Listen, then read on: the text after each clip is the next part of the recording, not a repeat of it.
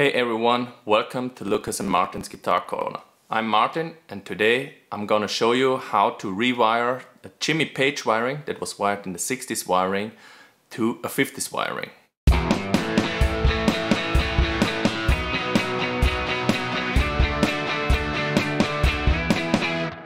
Those who know me a little bit more know that my favorite guitar is a red ES335 Studio that I've wired with the Jimmy Page wiring.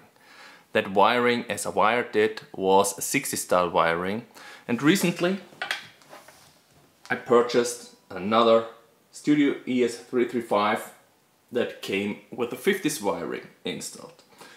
And I've noticed that I love that 50s wiring so much more that I would want to have the Jimmy Page wired, my number one guitar, also to have the 50s wiring. And this is actually quite easy to do. The difference between the 50s and the 60s style wiring is where the toggle switch wires and the hot wires of the pickups are connected. With the Jimmy Page wiring, the hot of the bridge pickup goes first into the tone control of the neck pickup, which is the series parallel. From there on, it's usually wired to the bridge tone control on that pin that is directly connected to the volume control. So in my case, I will have to add a separate wire around everything so I can solder it on the other pin because now it has to be on the volume control. One thing that also might be confusing for a few of you is that the capacitor is in another position. In this case, it does not really matter. It's, the wiring itself is the same. They are in series, the capacitor and the pot. The current flows through it just the same way it does uh, if they're in the other direction. So mostly you use the capacitor as a connector to the volume pot because yeah, you save on a wire for that one. In this case, I don't. It's easier for me that way. It's easier to insert that harness in that way that I have a flexible wire between the pots and yeah, the capacitor just goes on the same pot to ground and like this it's a little bit more easy to solder to handle, especially with the semi-hollow. Getting a wiring harness in and out of a semi-hollow is often considered a pain in the But honestly, I don't really think it is, but many people do. And yeah, Pew Pew Devices on Instagram reached out to us and said he has developed some new tools to make it easier even. And yeah, I'm gonna try them today. He was kind enough to provide them to us because he said our videos encouraged him to work himself on his guitars, which I think is the greatest compliment he could give us. And yeah, thank you so much. And I'm gonna have a look if this makes it even easier than my garden wire method. So as for preparation, I've got my guitar set up over here. I've got a printout of the changes of the wiring, so I can have a look at it so I'm not making any mistakes. I have the Pew Pew devices tools for the harness.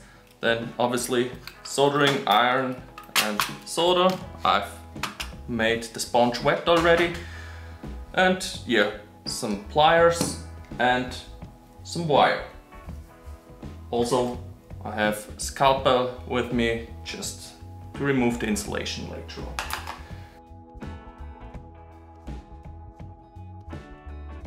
Those over here are the ones for the pots. Just push them over it like this. You see they hold firmly. And what I like is that he also includes these holders so you have them together so it can't slip through. Well, it can if you really try hard, but shouldn't. So those over here have a double function. So one fits exactly the output jack over here, so you can both of them actually do. And on the inside, he has made it diameter so you can screw it onto the toggle switch, which is a little bit hard as I've tried this already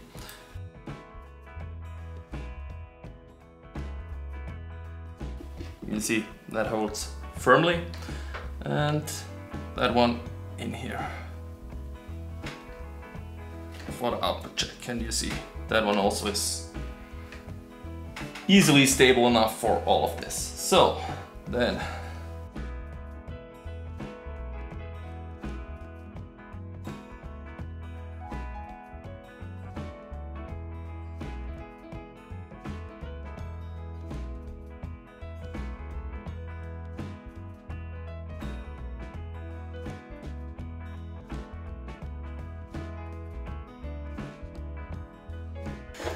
I'm not gonna use the tools for the removal.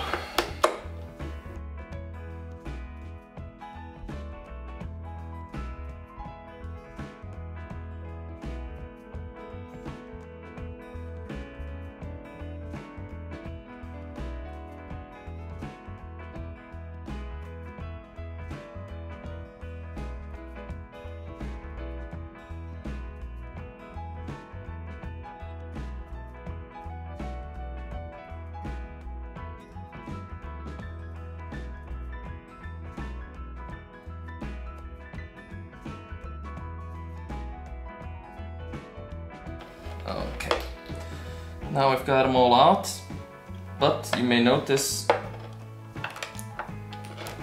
those shims are missing. But then again, Pew Pew also thought of this because he made a magnet on one side.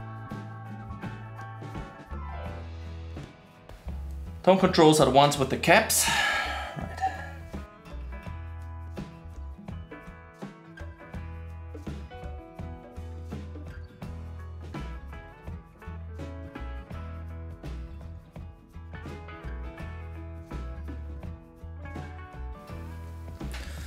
Have the temperature of my soldering iron at about 360 degrees Celsius, something like this.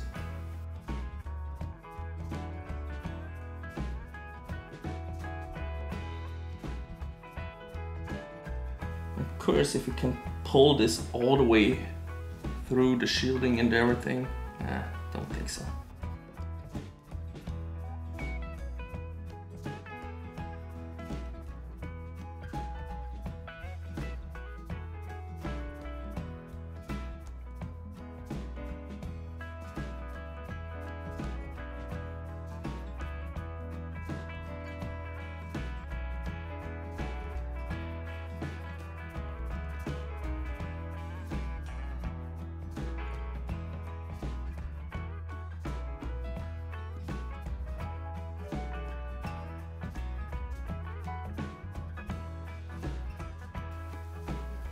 Okay, we got rid of the first wire over here.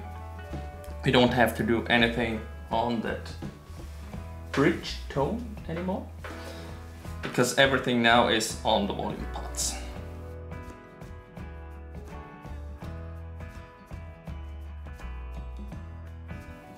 Solder over here on the hand I'm holding part I want to solder to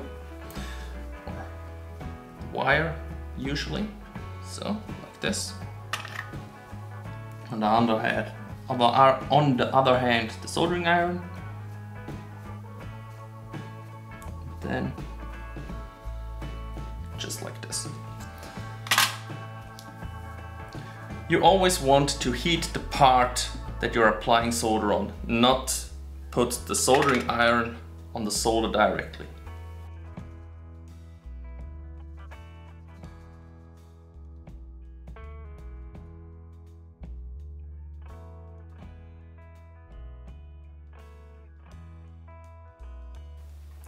unsolder that wire first and solder it on the other.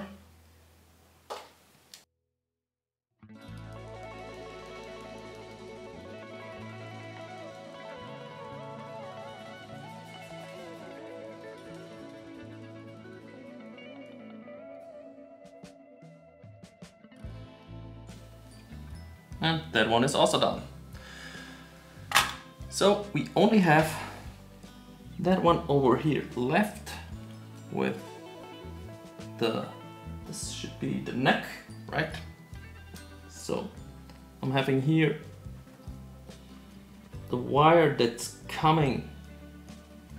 That's the white one that's coming from the toggle switch. That one has to go on the middle right? Yeah and that red one that's coming directly from the pickup that one has to go over to the other one. So yeah first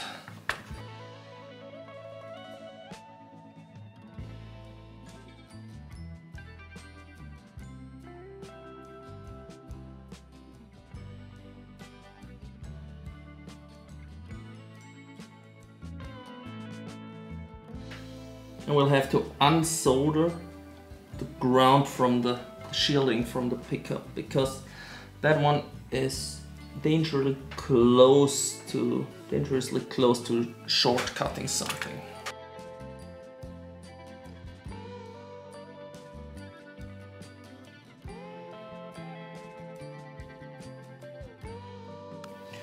Uh, definitely gonna add some shrink tube over that.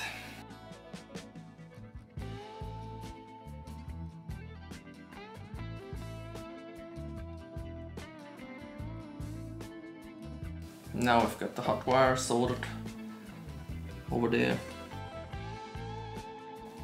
So we didn't fry the push-pull because that one can easily happen.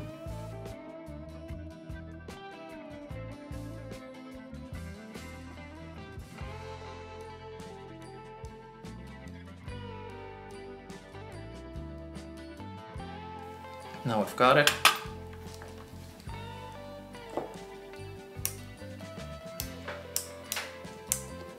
Still works. Great. And that was it.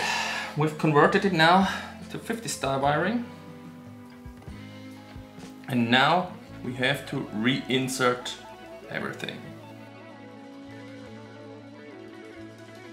So what we're gonna do now, this one is still in there as it was previously, so I would not have needed to do anything with that one.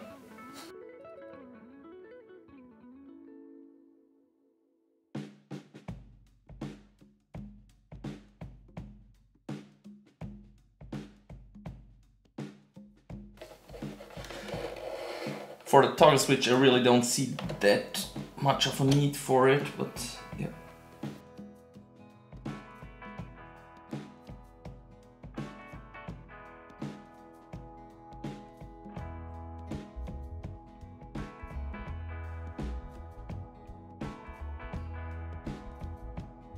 Okay, and now I have to get in all of this again. So let's see if this actually makes it really easier.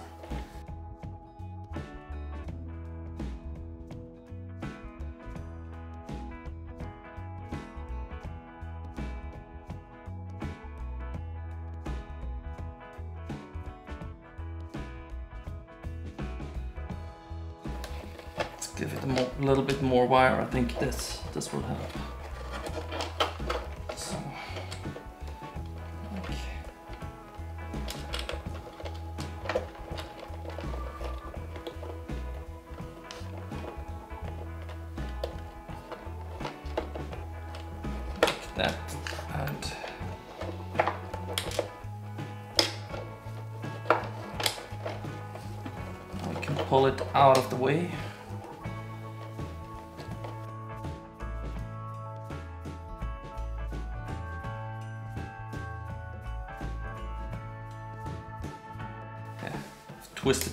Over here. That one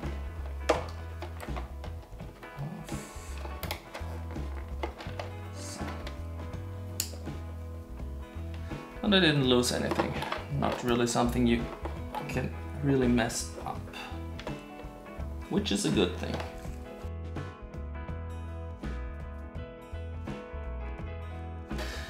A lot more cramped in there with these tools than it does with the garden wire method so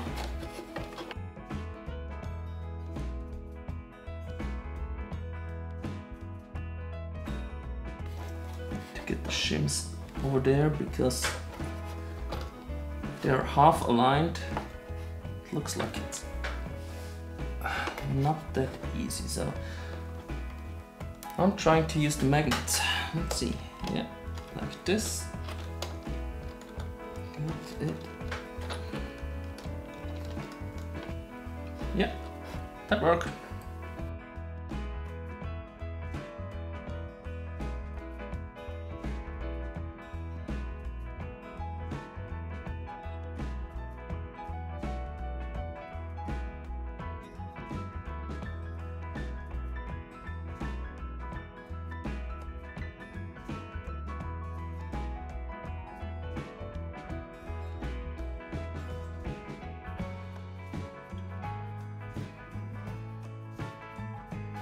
Yeah, that's pretty much it. Now only the output jack and the toggle switch, but those are usually really easy.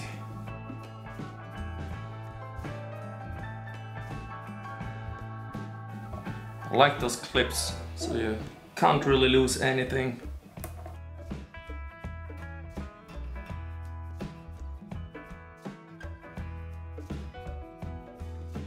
I want the pickup wire to go behind the toggle switch, so I will have to unscrew that one.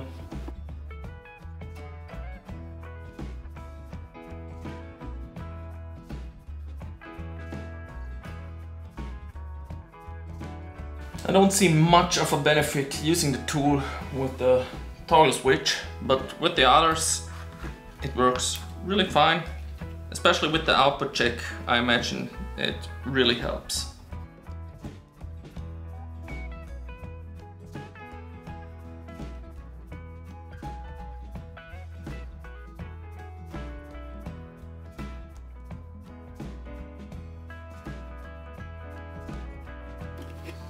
All the wires are hidden again.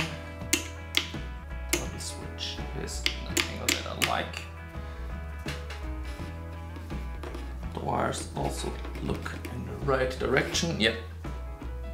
So this one should be in the right position.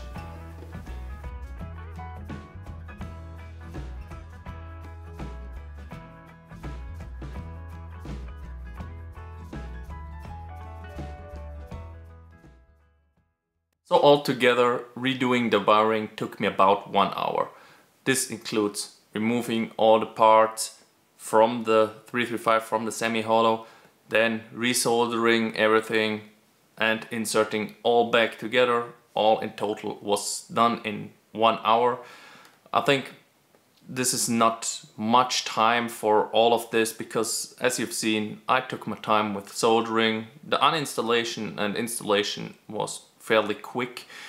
The only thing I would not do anymore is using the pew Pew devices for uninstalling the parts because I think that's way faster if you're not bound to these thicker wires, let's call them wires. I would use the magnets obviously to get the shims out but other than that I would not use them to remove the harness uh, maybe for the output jack.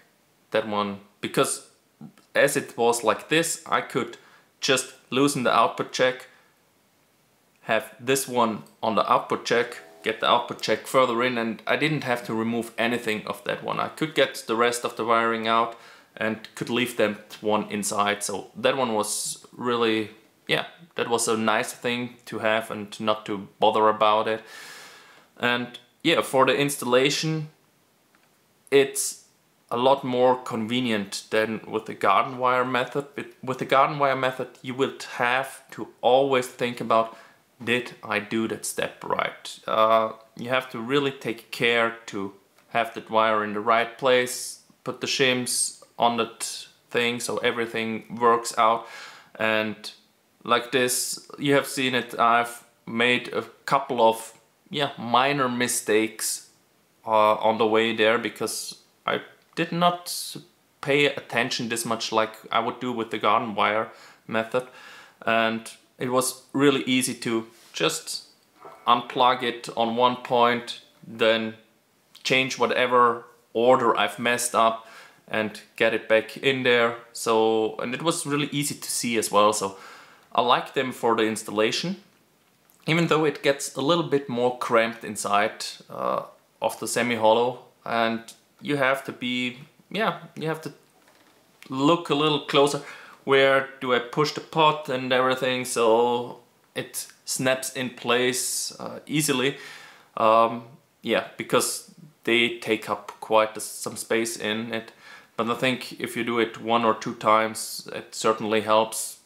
Also, yeah, if you do it just once, then you might take, just like I did, a few extra minutes instead of, maybe an extra hour that you need to really make sure, oh, I have prepared everything right with the garden wires, placed it on the right spot so I can drop it in in the right order and then remove it again. So yeah, there's that. Um, I will certainly use them on my next few projects on semi-hollows because I will also remove the wiring on my second 335.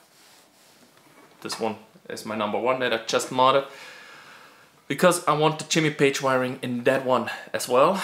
And yeah also on the one that I'm doing for my daughter then I also have to do a 175 kit with my son. In the end of the year I will use that as well. So thanks a lot John. Uh, those will be used quite regularly in this case and I like them to the Jimmy Page wiring with the 50 style wiring, I'm only using audio taper pots. And what I've noticed now that I've changed the wiring, the 50s wiring is way more sensitive on the taper than the 60s wiring. With the 60s wiring, you really want to have a rather steep taper because otherwise you have really not much change until you reach about 5 and then you have steep drop off. Um, if you're not having a really good taper on it. With the 50s wiring, it's a little bit on the opposite side. So what I have now is